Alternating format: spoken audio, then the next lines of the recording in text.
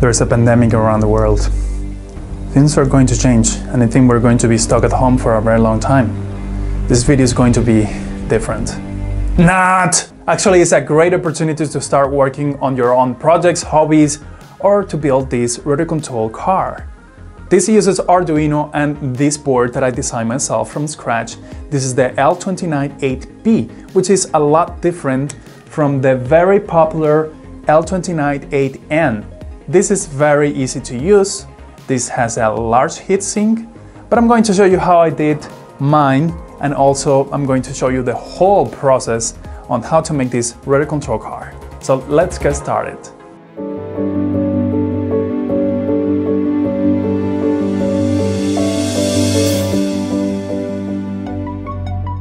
There are many ways to control the speed of a DC motor, especially with the PWM or pulse width modulation.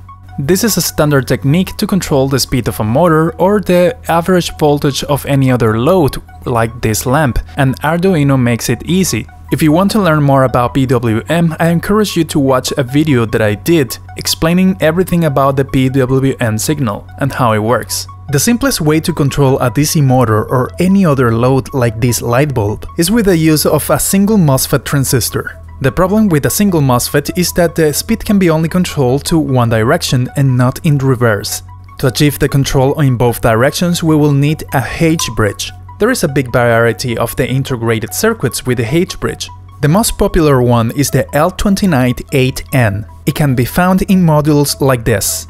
But let's start simple and use this PCB that I designed myself using just two MOSFET transistors. Having the board on my hand, I'm going to solder all the components to test it.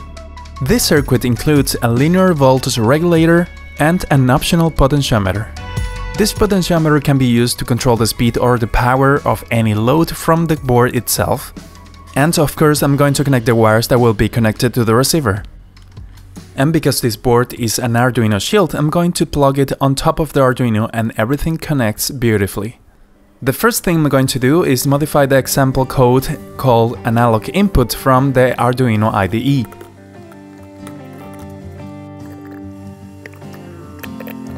Once that's done, I upload the code to the Arduino and we test it.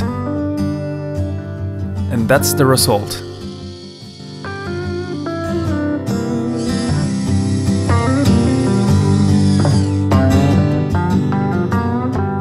But if we want to control all four motors, we need something like a power distribution board. But if your motors don't have these connectors, you can solder them directly into your board. After connecting everything, we're ready to start writing some Arduino code. Remember that we're going to use our radio control to control our car. For this, I'm going to use the pulseIn function that will allow us to read the signals from the receiver. After about 2 hours of trial and error, I finally finished the code. And it works very simple. And this is the result.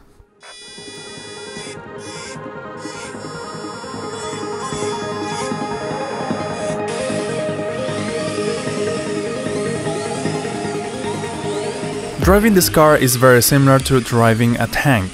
With the two joysticks you drive the speed of each side of the car. For example, if I push the levers forward, the car will go forward. If I push only the right side, it will turn to the left because the right wheels will turn faster. And the opposite for turning in the other direction.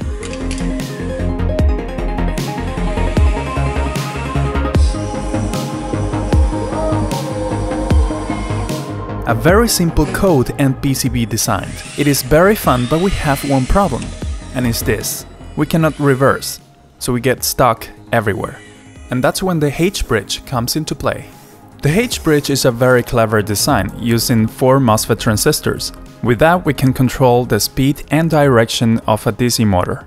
And that's when I started designing a new circuit using the L298P instead of the L298N. Both chips work exactly the same, but they are different packages.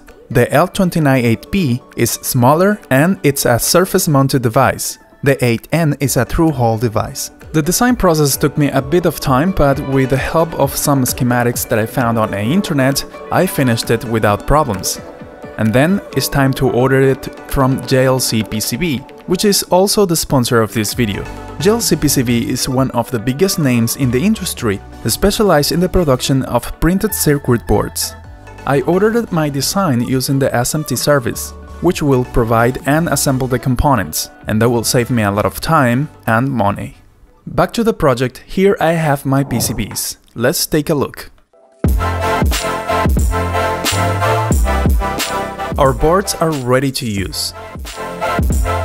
The space that you see at the top of the main board is to accommodate an Arduino Nano. So if you upload the code that I will provide in the description of the video, the Arduino Nano will be already hardwired in this PCB to work seamlessly with this project. So you only have to upload, solder, and you are ready to go. So let's start soldering the respective wires to this board. To feed power to this board you can use two different set of pads which are actually the same pads but in different locations. Use the one that is more convenient for you. And then we're going to prepare our Arduino Nano to put it in place. And then we align it to the board using the USB port as a guide. I connect a battery to see if it works correctly and it does, and then we connect the rest of the wires for the output. And also the wires that will go to the receiver. The only thing is that the signal wires will have to be soldered directly onto the Arduino pins. According to the code, I'm using pins 6 and 11 to read the PWM signals from the receiver. And now the fun part, the code. I found a code on the internet that will help me a lot but I have to modify it to match my needs. Because we're using a radio control and not potentiometers, I have to modify it a lot. I spent a couple of hours more modifying it and uploading it to an Arduino Uno testing the code until I had a decent result that I could upload to the Arduino Nano for the RC car. After I did that, let's connect a battery and see what happens. Well, that's happening apparently because the receiver is not connected, but after connecting the receiver, let's see how it goes. And it works beautifully. And as you can see, we have the reverse enabled. So now we can go everywhere without getting stuck. And by the way, one of the advantages of this code is that we can use only one joystick and not two of them. So it's a lot easier to control it. Okay, the first version of the code is okay, but Watch what happens when you don't have the receiver connected or the receiver is not sending uh, valid signals. So we turn it on and it starts going. Sometimes it's one, see? Sometimes it's one side, sometimes it's the other. It's just random because there's not valid signal going uh, to the Arduino to read so it starts going. So that's not good. It's not safe. It's not good. So I took a little bit more time to change the code and try to add some fail-safe system or something like that, so it doesn't activate whenever there's no valid signal from the receiver. But because I'm not very good at programming, I will leave that to the experts. The code still have that bug, but I could fix it a little bit, although I won't trust it. It's better if you connect your receiver and your radio is turned on. Another fix is that you set up a failsafe in your radio so your receiver is always turned on and sending valid signals. If you're an expert in Arduino or a programmer in general, take a look at the code and if you can fix it and share your information, it will be very appreciated by the community. But as you can see, it's very fun and it works great. We have a radio control car, one concern that some people will have is that the heat might be a problem in this kind of chips. In the normal module, the popular module, the L298N, we have this um, through-hole chip and it comes with this heatsink, this huge heatsink. The only time that I had a problem with the heat of this module is when using it with stepper motors. Now I have tested this design and it gets warm a little bit because these motors don't draw a lot of power.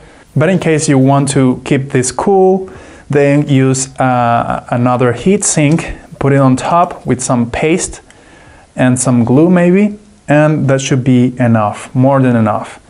Now the rest of the heat should go through the plate that it's underneath and it will dissipate throughout the whole board. Alright guys, I hope you enjoyed and learned from this project a lot. And if you love RC model aircraft, general aviation, electronics applied to this hobby, or the hobby in general, consider subscribing right there. Or I can also recommend you a great, great video about gliders that you can watch right here. Or you can also see this video that it's a recommendation, personalized recommendation for you. And I'll see you in the next project.